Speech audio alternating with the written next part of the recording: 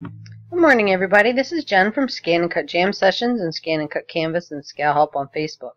I want to show you a file that someone has had. Now, I've actually had two of these in this week. Okay, this is supposed to be an SVG file. And I've noticed that these are coming from Etsy. Okay, so this is supposed to be an SVG, and we all know that really SVGs are supposed to have cut lines. Come up here to preview. No. They're printables. Okay. So what are we going to do? Well, we know if we come up here to object and we click break apart, nothing happens. Okay. And you can come up and you can re-highlight it. You can do another break apart and nothing happens. Because normally JPEGs, we can't break them apart. All right.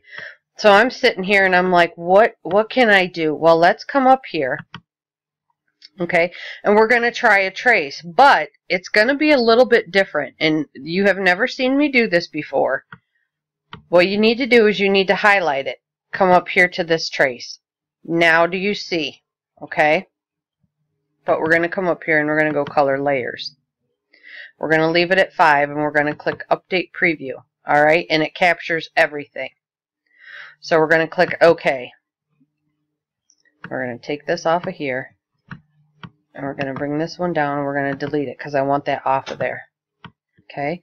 So I'm going to come over here, Object, Ungroup, and this is going to leave us with layers. Okay, this is all the different colored layers you'll have. Okay. So that is how you need to handle these files that look like this. Alright, let me take a look. Let's come up here to preview. Now they are cut files. Alright, they are no longer printables. They are cut files. Alright, and if you want to only have uh, the, let's say you only want this part to be cut, you can leave it like this or if you want the reverse image like I show you in the video that has the reverse or negative image, you can come up here, bring your little square,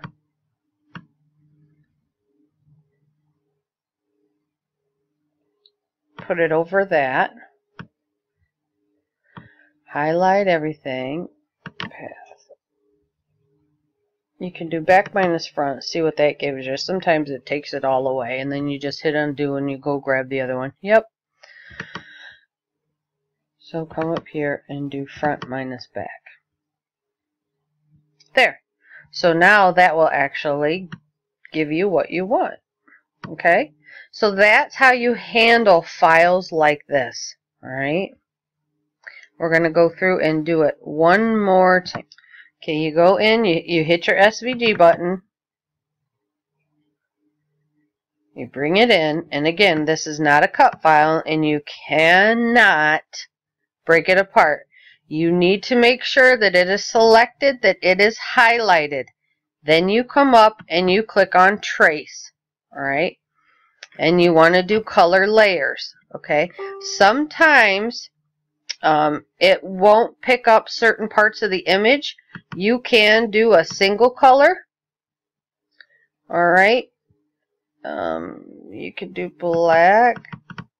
And then you just want to bring it up like this to kind of harden all the lines. Make sure there's nothing flaky looking with the lines. Update preview. And you can bring it over like that. And that will give you that single trace. Okay, so there's not all the different color layers. If you don't want to have to deal with all the, the four different colors that I pulled out, you just want this. Then you bring that square over. Set it like that. On top there. Front minus back. And it gives you that awesome design. Okay?